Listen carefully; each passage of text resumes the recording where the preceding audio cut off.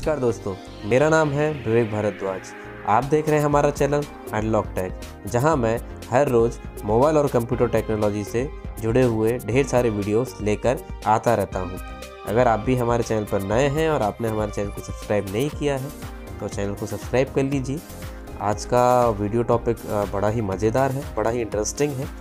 अक्सर जो non technical लोग होते हैं, उन्हें उसके बारे में ज़्यादा पता नहीं होता है। आज हम आपको बताने जा रहे हैं डीएनएस डोमेन नेम सिस्टम क्या होता है, क्या काम करता है, कैसे आप इसका बेसिकली सही इस्तेमाल करके जो है किसी भी वेबसाइट पर जाने से बच सकते हैं या किसी भी अनवांटेड एड्स या ब्रेक को आपके वेबसाइट पर या जब आप नेट चला रहे हो, वहाँ पर आप जो है उसको लाने से भी बच सकते हैं। आइए शुरू करते हैं, हम दिखाते हैं आपको।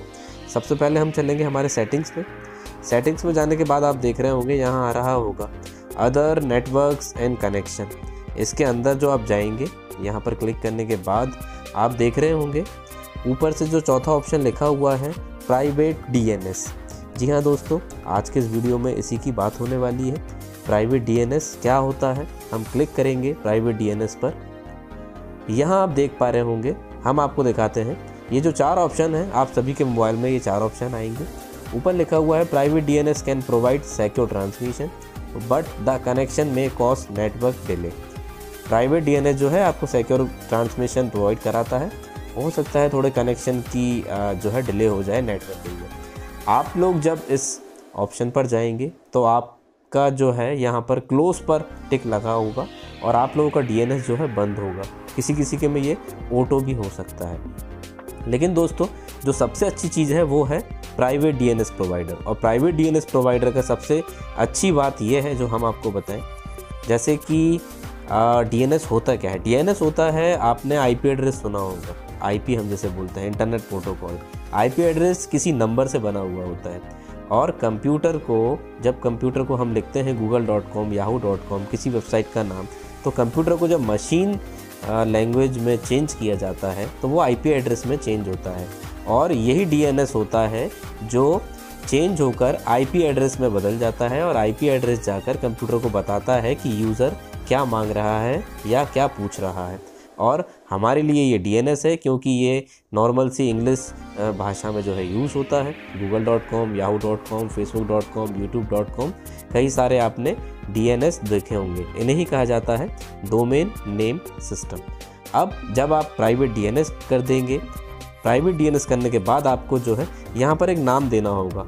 नाम देने का तरीका दोस्तों यही है, आप एक बार इसे देख सकते हैं। D N S dot Google dot com आपको जो है डी एन एस के बाद डॉट लगाना है गूगल डॉट कॉम ये कोई स्पेसिफिक नहीं है। आप चाहें तो याहू डॉट कॉम जो भी जिस ब्राउज़र का, या हम कह सकते हैं जिस सर्च इंजन का इस्तेमाल करता हो, उस सर्च इंजन पर जाकर जो है आप लोग अपने अपने होस्ट नेम तय कर सकते हैं। क्योंकि हम लोग अक्सर गूगल का ही यूज़ करते हैं तो हम यहाँ पर कॉम दे रहे हैं।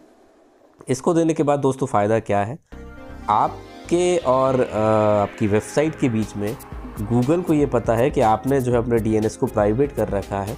इसका फ़ायदा यह है कि आपकी इन्फॉर्मेशन इनक्रिप्टेड वे में हो जाएगी और कोई भी थर्ड पार्टी एप्लीकेशन कोई भी आप देख रहे होंगे जो बिज़नेस टूल्स होते हैं आजकल जो हमारे एआई का यूज़ करके हमें ऐड ब्रेक्स दिखाते हैं। आप लोगों ने देखा होगा, किसी भी तरह के ऐड आ जाते हैं।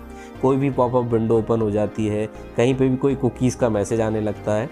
ये सब आना जो है पूरी तरीके से बंद हो जाएगा, क्योंकि गूगल और आपके बीच में जितनी भी अब नॉलेज का आदान प्रदान जो पेजेस का वेबसाइट का एक्सेस होना है, वो सब कुछ एक एनक्रिप्टेड वे में होगा।